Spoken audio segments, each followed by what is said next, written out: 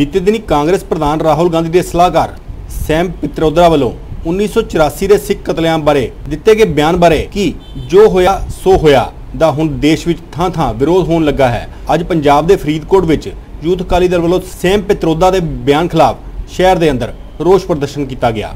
ਫਰੀਦਕੋਟ ਜ਼ਿਲ੍ਹੇ ਦੇ ਸ਼੍ਰੋਮਣੀ ਅਕਾਲੀ ਦਲ ਦੇ ਯੂਥ ਵਿੰਗ ਦੇ ਜ਼ਿਲ੍ਹਾ ਪ੍ਰਧਾਨ ਗੁਰਕਮਲਜੀਤ ਸਿੰਘ ਦੀ ਅਗਵਾਈ ਵਿੱਚ ਸ਼ਹਿਰ ਵਿੱਚ ਇੱਕ ਰੋਸ ਮਾਰਚ ਕੱਢਿਆ ਗਿਆ ਅਤੇ ਰਾਹੁਲ ਗਾਂਧੀ, ਸੋਨੀਆ ਗਾਂਧੀ, ਸੈਮ ਪਿਤਰੋਦਾ ਅਤੇ 1984 ਕਤਲੇਆਮ ਦੇ ਦੋਸ਼ੀਆਂ ਖਿਲਾਫ ਜ਼ੋਰਦਾਰ ਨਾਅਰੇਬਾਜ਼ੀ ਕੀਤੀ ਗਈ।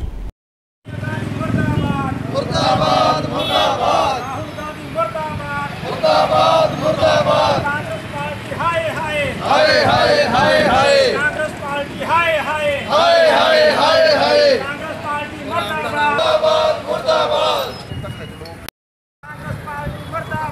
ਮੁਰਦਾਬਾਦ ਮੁਰਦਾਬਾਦ।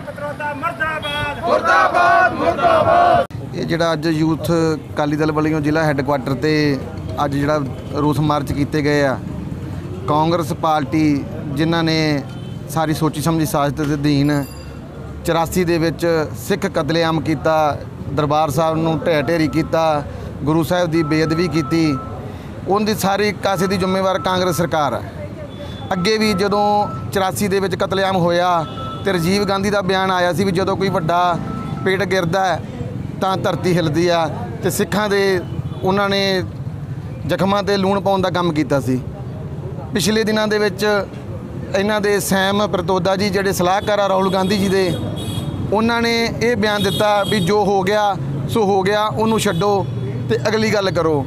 ਜਿਹੜਾ 84 ਦੇ ਵਿੱਚ ਸਿੱਖਾਂ ਦਾ ਕਤਲੇਆਮ ਹੋਇਆ, ਦਿੱਲੀ ਦੇ ਵਿੱਚ ਦਰਬਾਰ ਸਾਹਿਬ ਤੇ ਹਮਲਾ ਹੋਇਆ, ਗੁਰੂ ਘਰ ਸੰਗਤਾਂ ਮੱਥਾ ਟੇਕਣ ਗਈਆਂ, ਉਹਨਾਂ ਤੇ ਗੋਲੀਆਂ ਚਲਾਈਆਂ ਗਈਆਂ ਲੱਖਾਂ ਸਿੰਘ ਸ਼ਹੀਦ ਕੀਤੇ ਗਏ ਤੇ ਕਾਂਗਰਸ ਦੀ ਜਿਹੜੀ ਬੇਅੰਤ ਸਿੰਘ ਦੀ ਸਰਕਾਰ ਸੀ, ਉਹਨੇ 1 ਲੱਖ ਤੋਂ ਉੱਪਰ ਨੌਜਵਾਨ ਪੰਜਾਬ ਦਾ ਕਤਲ ਕੀਤਾ, ਜਿੰਦਾ ਕੋਈ ਲੇਖਾ ਜੋਖਾ ਹੀ ਹੈ ਨਹੀਂਗਾ ਇਸ ਕਰਕੇ ਅਸੀਂ ਇਸ ਸਾਰੇ ਆਪਣਾ ਉਹਨਾਂ ਦੇ ਬਿਆਨ ਦੀ ਨਿੰਦਾ ਕਰਦੇ ਹਾਂ ਤੇ ਯੂਥ ਅਕਾਲੀ ਦਲ ਜ਼ਿਲ੍ਹਾ ਲੈਵਲ ਤੇ ਜੋ ਵੀ ਆਪਣਾ ਹੋਊਗਾ ਮੁਜ਼ਾਹਰਾ ਅੱਜ ਕੀਤਾ ਗਿਆ। ਇਹਦੋਂ ਗਾਂ ਜੋ ਪਾਰਟੀ ਦਾ ਹੁਕਮ ਗਾ, ਉਸ ਮੁਤਾਬਕ ਇਹ ਧਰਨੇ ਮੁਜ਼ਾਹਰੇ ਕੀਤੇ ਜਾਣਗੇ। ਜੋ ਪਾਰਟੀ ਪ੍ਰੋਗਰਾਮ ਦਊਗੀ, ਉਸ ਤਹਿਤ ਸਾਰਾ ਪ੍ਰੋਗਰਾਮ ਲਿਖਿਆ ਜਾਊ। ਫਰੀਦਕੋਟ ਤੋਂ ਜਾਗਰਤੀ ਲਹਿਰ ਦੇ ਲਈ ਗੁਰਜੀਤ ਰੋਮਾਨਾ ਦੀ ਰਿਪੋਰਟ।